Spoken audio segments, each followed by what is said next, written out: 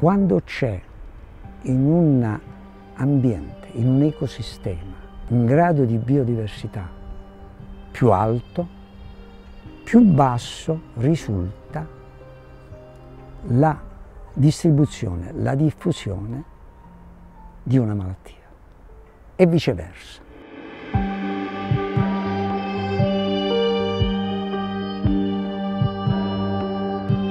La biodiversità è fondamentale e quando manca per l'agricoltura i problemi sono tanti e imprevedibili.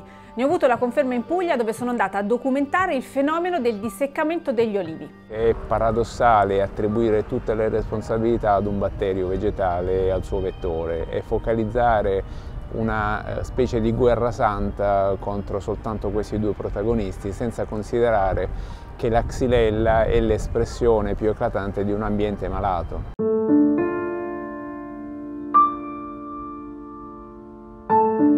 Puglia si è ordinato di abbattere gli alberi, di diserbare, di usare dosi massicce di insetticidi. Ma tutto questo è efficace? Hanno avviato una campagna di utilizzo massivo di pesticidi che non ha presupposti scientifici.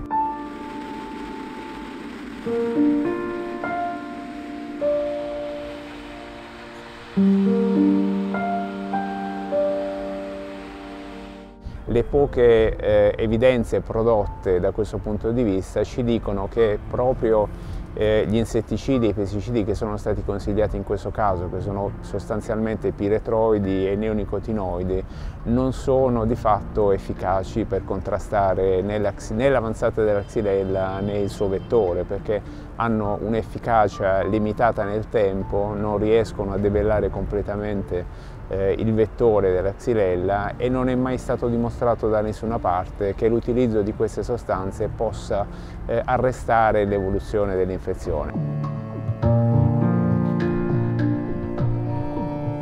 La soluzione del problema al disseccamento rapido dell'olivo non è l'abbattimento delle piante, proprio per i motivi che, i motivi che ho detto prima.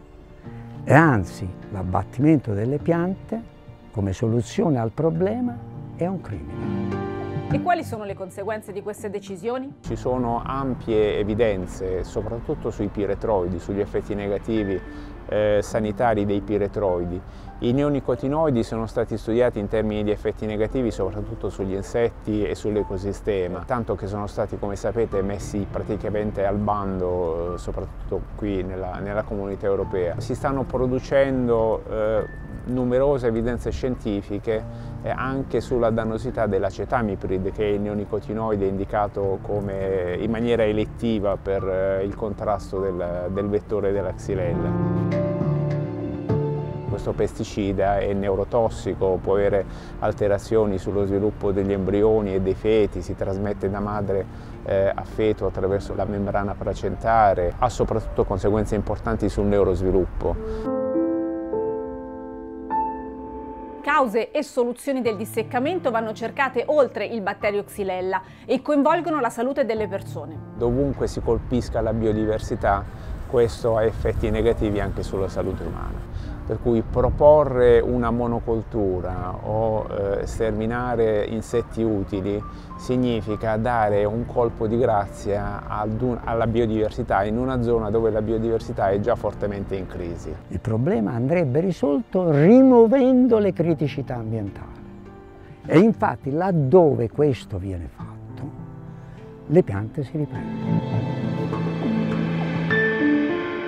non si riuscirà mai ad affrontare in maniera adeguata il problema se non si parte dal presupposto che è l'ecosistema eh, a dover essere trattato in maniera adeguata e non soltanto un batterio o il suo vettore. Bisogna cambiare filosofia, bisogna cambiare modello agricolo, ma io direi anche socio-economico.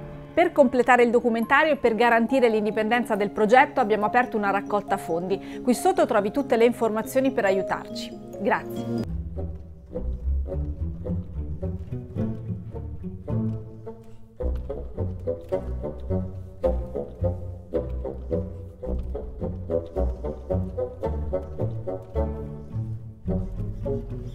Thank